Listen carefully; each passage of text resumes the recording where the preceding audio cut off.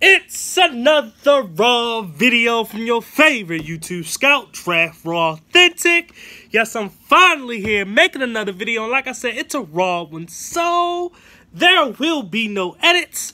Now, if you've seen my previous video that I put out, it was an update video, basically giving you the future videos that was going to be coming out.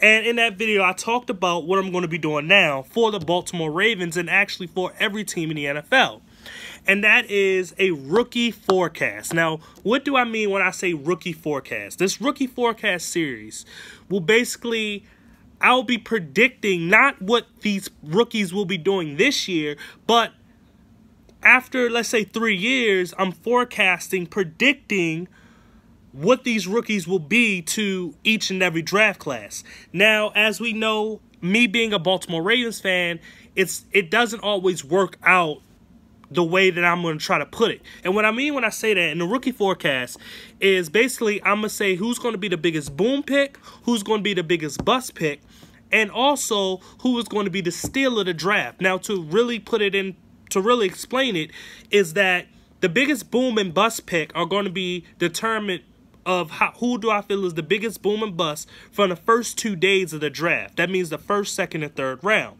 The biggest steal will be the third day, which will be the fourth, fifth, sixth, and seventh round. Now, with also with saying that, I will not be doing the undrafted free agents of you know being the steal and all of that. I'm gonna just keep it for the draft pick. So for this Baltimore Ravens rookie forecast, I'll be basically predicting what these players will basically be in the future. Now, like I said, it doesn't always work out.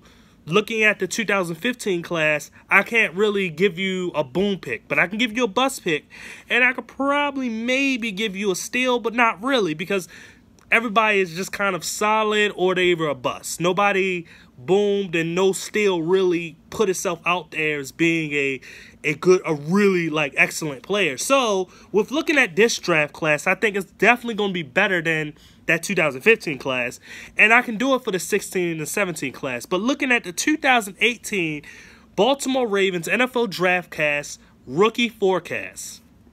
So, without further ado, with all that talking, let's get started the biggest boom pick of this draft class. Now, like I said, I'm looking at the first three rounds.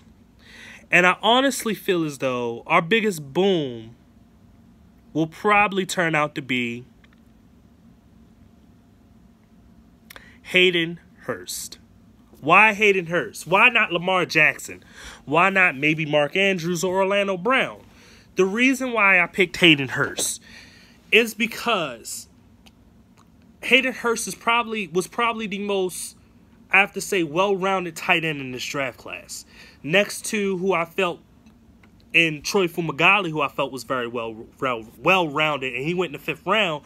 Hayden Hurst had speed that was better than Troy, and that's what really put him up there. Now Hayden Hurst is probably the best seams route tight end, and what I mean when I say seam route tight end is the tight ends that run literally directly in the middle of the field on a go route. He was the best one in this draft class to do it. Um, he easily gets separation. Um, he's a guy that you can actually kind of use as like a. have uh, seen him on end rounds as a tight end. To see a tight end on end rounds is kind of crazy, but he did it. He can run with the ball. Um, obviously, he can catch the football, and he's a pretty solid blocker. I think overall, with his overall all around talent, like what we had with a Dennis Pitta or Todd Heap, he is probably the biggest boom pick that we are going to have in this draft. Now, people are saying, well, why not Lamar Jackson? If you're looking at this video, the reason why I'm not going to put Lamar Jackson up there is because I always had my questions about Lamar Jackson when it came to that pick in general. But just as a player, before the Ravens picked him, I had my questions about him. But anyway, Hayden Hurst, I feel as though is going to be the biggest boom pick for this 2018 NFL draft. Now, the question is the next thing is who do I think is going to be the biggest bust? Now, the biggest bust, like I said, is within the first three rounds. I will say that it may be some draft classes I will include the, the fourth round pick in that. And then in this draft class, I could include, you know, a fourth rounder, but I won't I definitely won't. Um, I feel as though it's it's with our fourth rounders that we did got, it's not as bad. You know, when we're talking about Kenny Young and Anthony Averett and even though I'm not a huge fan of Anthony Averett at all, I think that with me, I had such a low thing for Anthony Averett, I can't call him a bust pick. And it's a and busts are really more for when you really need a certain position really, really badly, and cornerback wasn't a big position that we needed as of right now. Same thing with inside linebacker. Um, I think we have, you know, we have the, um, I'm sorry, Patrick Onwuasor, who I really like. Um, he may not be the best one to have, but I still like him better than, you know, like a Kamalei Correa. But just overall, when it comes down to it, you know, you have someone like Patrick Onwuasor, who I like, and like an Albert McClellan, who I think can play. And I feel as though Tyus Bowser could actually be an inside linebacker, not an outside linebacker. If you watch his college tape, you'll know what I'm talking about. So, when it comes to the biggest bust, I'm actually going to choose. I'm sorry, y'all going to hate me. Lamar Jackson. Why I'm not going with Mark Andrews or Orlando Brown, Brown wasn't the biggest need that we wanted. And with Orlando Brown is he had a lot of big questions about him anyway. So if he turns out to be a bust, it's going to be like, well, the combine numbers and everything else kind of told you so. Um, and if you look at the tape, you'll see what I'm talking about with Orlando Brown. So it kind of already told me that if he was a bust, there was a reason why. Um, same thing with Mark Andrews. I wasn't as high on Mark Andrews. I think that he is, when he gets the ball in his hands, he's very dangerous, but it's, he has to catch the ball, point blank, period. So with him, it's you know, I always had my little questions about him anyway. So I had to go with the highest, you know, drafted player out of those three, and it has to be Lamar Jackson. And the reason why I'm not too high on Lamar Jackson, like maybe everybody else is, is because of I think that as a thrower, I saw what some people question when it came to when he when it talks about seam throws and making throws over the middle, he was very accurate. But when it was those sideline throws that he had to make, he was underthrowing it, he was overthrowing it. It was too far to out of bounds. It was never good. His accuracy on the outside was not good. His accuracy between the numbers very very good, but on the outside numbers it wasn't good. And in the NFL, those in between the number type throws, you're not going to get those a lot. You're going to get the outside throws a lot more. And if you can't make those outside throws, then you just I mean Like, what are you? I mean, what are you going to do as a quarterback when you can't make outside throws? And I'm not talking about, you know, the deep comeback, just throwing it on the line. I'm talking about go routes or whatever, and just try to throw it up and get it, get it to your player. And he he's not that accurate with that. Um, also, he's very thin, and I think that people. A lot of times you see an explosive player and a black explosive player, and you want them to be good and healthy and all that. And time and time again, we've seen guys with like Michael Vick and Robert Griffin III who's been very, very small and they get hit and they hurt. And it's like, you know, they're on the bench, they're hurt, they're injured. It, and it happens so many times that we can't keep doing this to ourselves. Just because the player didn't get hurt in college doesn't mean that going to the NFL he's not going to get hurt.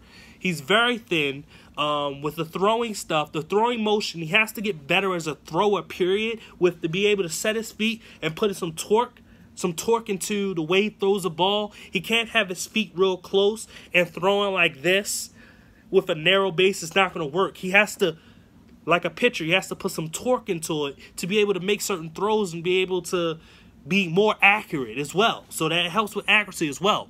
Um, that's the biggest reason. So it's one of those things where it's certain stuff that he has to get better at, and that's how he that's how he's going to become possible boom pick and not a bust pick. But as of right now, he is my bust player because I need to see him do this stuff. I need to see him do it on a consistent basis when it's pressure.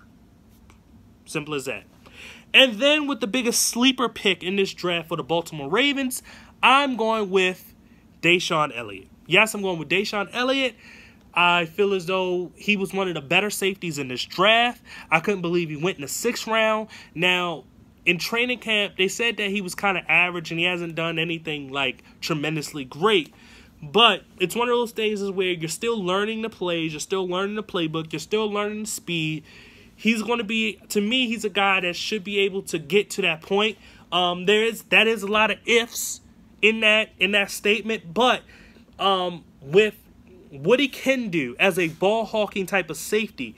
And because he has the ability to play, to me, to play both free safety and strong safety, which you pair him up with Eric Weddle, he will probably be better than what you get from Tony Jefferson, who I'm not a fan of. But what I'm gonna say is, is that I feel as though when it comes to DeShon Elliott, you're getting someone, like I said, that's not that's a ball hawking type of guy, a tackling type of safety, but a guy that I think has natural instincts for this game. And I think that he always put himself in the at the right place at the right time, always in the right position. So when it comes down to it, that is my sleeper pick, and I'm sticking to it. So anyway, uh, like I said, the biggest boom pick is going to be Hayden Hurst, my opinion. The biggest bust pick is going to be Lamar Jackson, my opinion, and the biggest and the sleeper pick will be DeShon Elliott, my opinion. So anyway, if you like this video, please hit that like button. If you want to see more from me, please subscribe.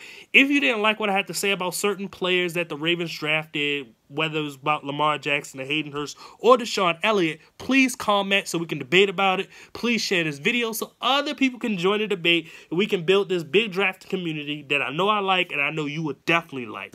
And once again, this is Draftrawthentic. I thank you for watching. Goodbye.